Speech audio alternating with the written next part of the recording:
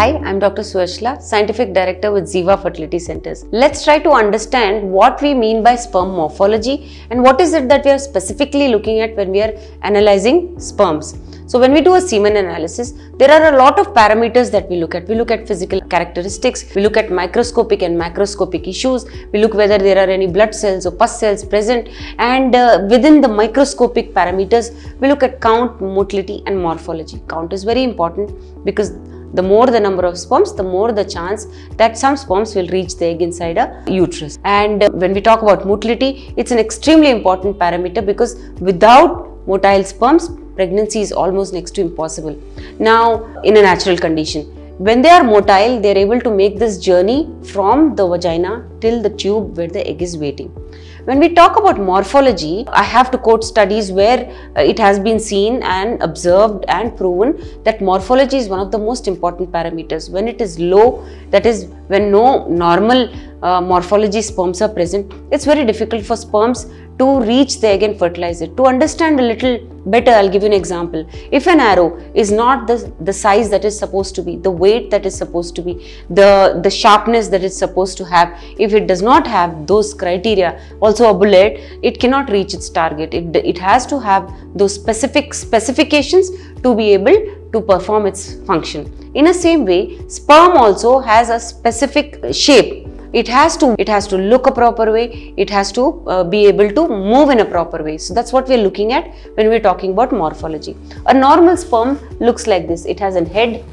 You can see this. It has a tail. Yes and it also has a mid piece if you can see that there is a small mid piece it is not specifically colored or it is not specifically distributed or distinguished but i'll just tell you very quickly the importance of each part the tail helps it move very obvious because with the tail it keeps moving, it keeps wriggling like a snake and it moves forward.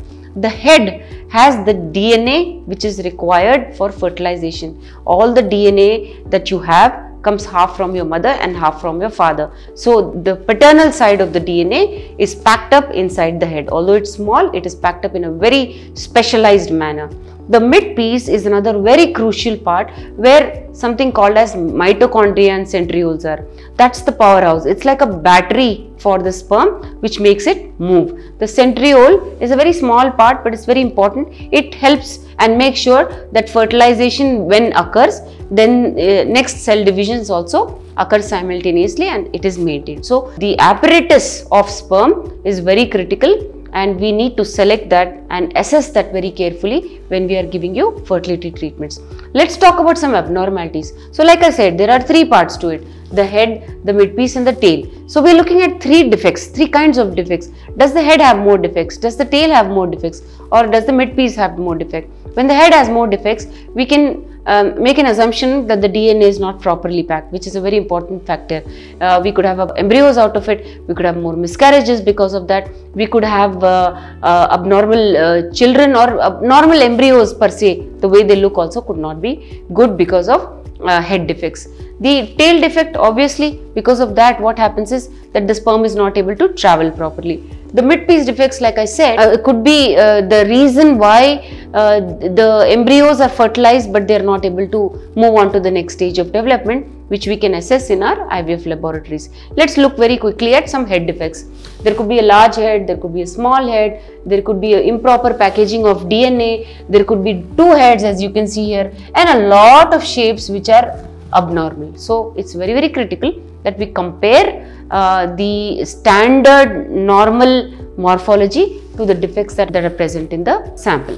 When we look at mid-piece defects, you can see that maybe the head is not attached properly, it's too thick, it has uh, you know some kind of um, problems at the mid piece or it has separated into two parts at the mid piece itself which is also not good. So it's very critical that we look at mid piece also very uh, carefully. In addition to all this there could be another problem called acrosomeless think of it as something without an hat. The hat is very important for fertilization.